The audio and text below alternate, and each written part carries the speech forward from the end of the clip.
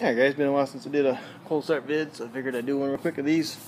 Just moved them out of the way to get the ladder out to clean out a gutter, so I'm going to put them back.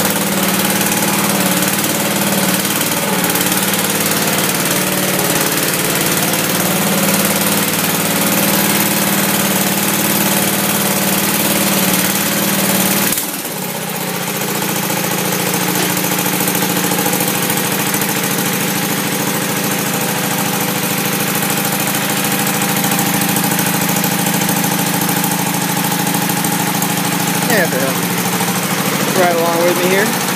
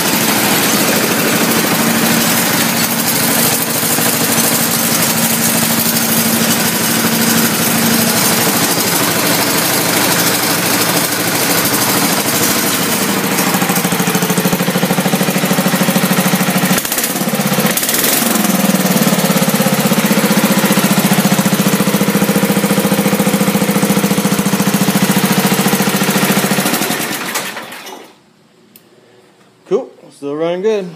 Um, this guy, whoa. Wife texted me Friday, said you gotta get home. This thing leaking gas all over the place. So I get home, you can see it.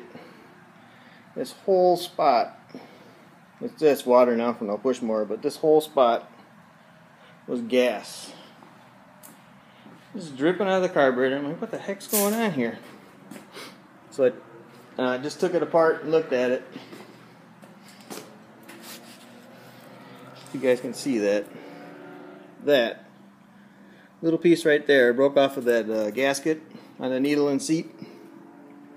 Yeah, that little piece right there was holding the needle open and it was just puking gas everywhere. So, so I just got the carb apart and um, put a different seat in there a little rubber piece. And it seems to be working fine now so. And once you know it I've never put a shut off valve on this thing.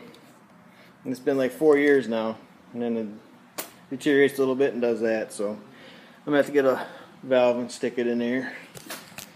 But she should start now and run without puking gas everywhere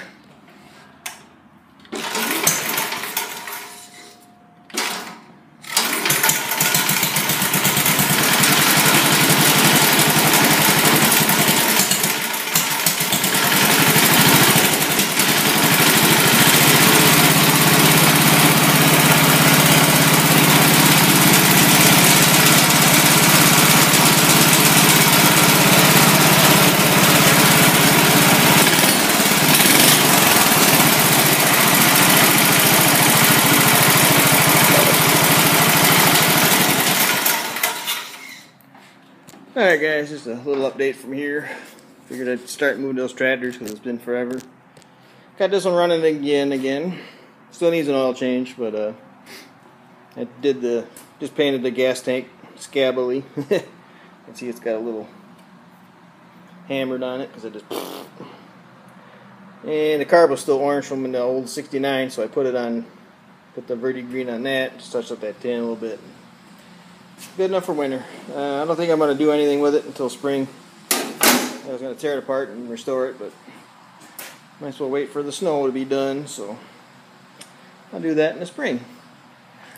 But today is October 8th, guys, and it is 83 degrees out here, so I've been taking advantage of this weather. We uh, had some storms the other night, and the water was just pouring out of this gutter on this side of the house, so I just got up in there and dug a bunch of like sand and crap off the shingles out of there, so you know all the nails were loose. So I popped all the nails back in, got it back up straight, so it's flowing good now dumps out right there. So yeah guys, not much else going on. Leaves are starting to change. Just getting everything ready for winter situated, so that's the update from here, and we'll talk to you later.